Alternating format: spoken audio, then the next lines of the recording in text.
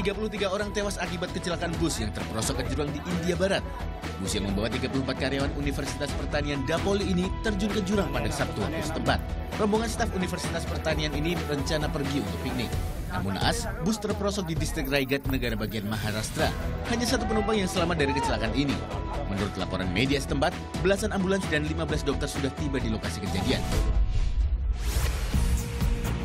Masih dari India, hujan deras sejak Kamis malam waktu setempat mengakibatkan banjir besar dan longsor di sejumlah daerah di India Utara.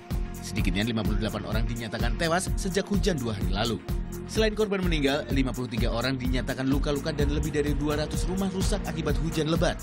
Menurut BMKG India, hujan deras masih akan terus terjadi 48 jam ke depan di negara bagian Uttar Pradesh. Musim hujan di India biasanya berlangsung hingga bulan Oktober mendatang. Kebakaran hutan di California Utara, Amerika Serikat semakin parah. Hingga saat ini, dua petugas pemadam kebakaran tewas dan 17 orang lainnya dinyatakan hilang.